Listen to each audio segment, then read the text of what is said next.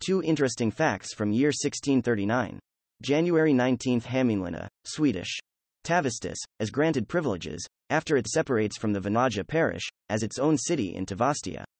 April 14 In the Battle of Chemnitz, Swedish forces under Johan Banér inflict a crushing defeat on the army of the Holy Roman Empire, prolonging the Thirty Years' War and allowing the Swedes to occupy Pirna and advance into Bohemia.